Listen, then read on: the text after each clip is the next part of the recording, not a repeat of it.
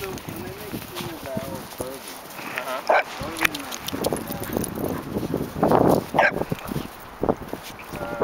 bourbon, uh-huh.